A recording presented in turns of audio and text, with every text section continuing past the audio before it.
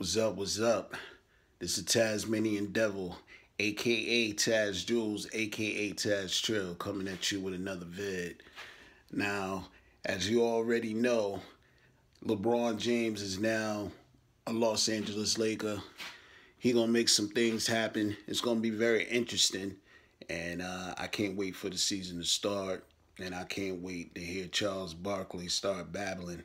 Uh, last season, he started babbling about Ben Simmons and how Ben Simmons had to develop a jump shot. He was like, Kenny, Kenny, Ernie, Ernie, Ben, Ben Simmons, Ben Simmons has to, over the summer, shoot 500 jump shots.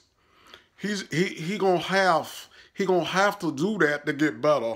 He is not making his team better because he's can't shoot from the outside.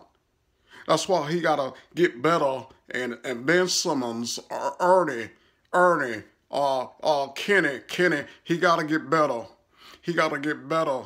He has to develop an outside shot to be more effective. If he can get that outside shot, is nothing can stop him because he can go inside and nobody can stop him when he's inside. Cause that's that's what Ben Ben Simmons that's what Ben Simmons has to do.